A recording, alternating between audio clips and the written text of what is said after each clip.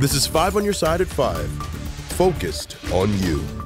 We want to get you started with a live look outside. This is Lambert St. Louis International Airport and downtown St. Louis. Looks a little windy at the airport, but after a week of extreme heat, we are finally seeing some relief just in time for the weekend. Thanks so much for joining us. I'm Kelly Jackson. I'm Anne Allred. These slightly cooler temperatures were in the 80s. That's a good thing. It's only lasting for a few days, though. Let's check in with Chief Meteorologist Scott Connell. You know, the good news that we have for you tonight is that the humidity levels are going to stay in check. You noticed that today. Yes, we've had some clouds here and there. By the way, we're about two weeks away from the Bommarito 500 over at World Wide Technology Raceway. Let's hope the weather turns out to be as nice as it's going to be this weekend in two weekends. You see the isolated showers rolling around. Yes, we've seen a few. Most of them have been east of St. Louis, drifting from north to south. They're very small. They're moving right along. Doesn't last in any one spot. We've had a couple to the west and southwest of St. Louis, but very little in the way of rain.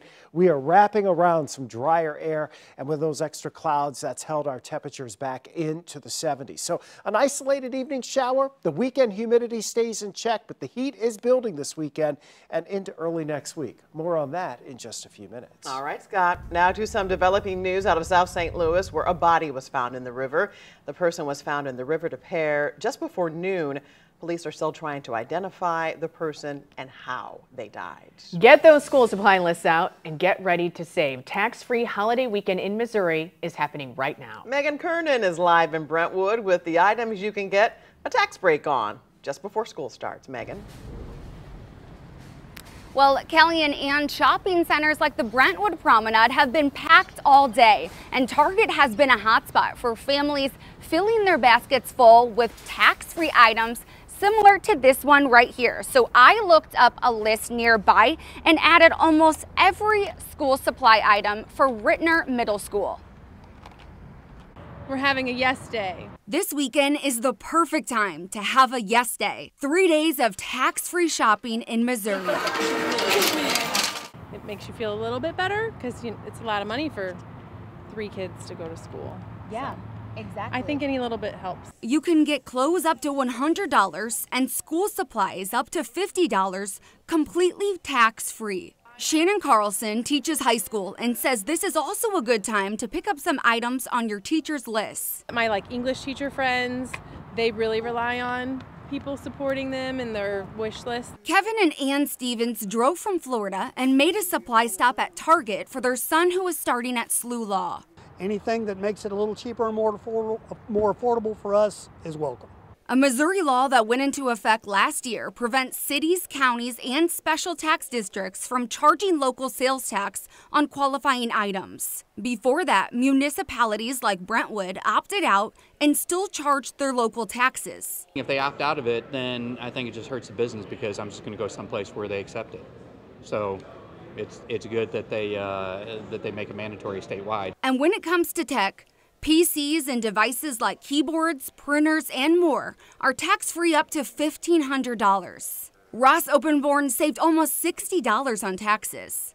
We wanted to buy an iPad for the last probably month and a half and then uh, realized that the tax-free weekend was coming up, so came out and got it. Now, you don't need to be a Missouri resident to enjoy this tax-free holiday weekend. Even if you live out of state, you can take advantage of these savings. Live in Brentwood, Megan Kernan, 5 on your side. People are lining up to get qualified for the senior property tax freeze in St. Charles County. The county tells us hundreds of people have stopped by the county administration building over the past few days. Now, these are people who already applied, but their application was rejected for various reasons like missing documents. Now they have to stop by in person to get the issue fixed. It's very frustrating. I just moved up here from Florida where there are no property taxes and you don't have to do anything. It's automatic. But um, I feel really sorry for the people that are working here. I'm sure they were very overwhelmed. We understand the frustration in waiting. No one likes to wait. I don't like to wait. But there's 7,000 people trying to get through here and there's only so many of us. The deadline to apply for relief on the 2024 tax bill has already passed. The county does expect larger crowds over the next few weeks. Democratic leaders say Vice President Kamala Harris has secured enough delegate votes to get the Democratic presidential nomination. The results are still not official. The Democratic National Committee is expected to make that official announcement on Monday. Harris would be the first black woman and first Indian American in the United States to secure a major party's presidential nomination. We are weeks away from the Democratic National Convention. Our political editor, Mark Maxwell, will be live at the convention in Chicago that gets started August 19th. This coming Tuesday is Missouri's primary. We've put together a voter guide for you. Just text the word guide to 314 425 5355. We'll send you a link. The Olympic Village in Paris has room for more than 14,000 athletes, almost two and a half times the population of Olympian Jayden Ulrich's hometown. The discus star from East Alton competed today with a huge group of friends and family cheering her on. Tracy Hinson was in the crowd rooting for the former Wood River East Alton High Oiler. Family and friends have gathered in Wood River to cheer Jaden on, signing an Olympic flag for her for when she gets back. Most of the messages on here, Jayden, we are proud of you. Her dreams have come true. Every she has done everything that she said she was going to do from junior high. This in itself is the biggest blessing and achievement that our family could have ever asked for. She's blown all expectations. I this was more than enough. A top 20 finish for the 21 year old. She had her friends and family in Wood River pretty nervous after her first two attempts. Jayden's high school and middle school coaches were confident. She's always had a poise about her that she could keep calm during tense situations. Well, like in middle school, she always had a natural talent, just strong kid. Because she just naturally had a good release which is one of the hardest things for a lot of athletes to pick up on. If anyone in town didn't know what discus was before, they certainly do now. In Wood River, I'm Tracy Hinson, 5 on your side.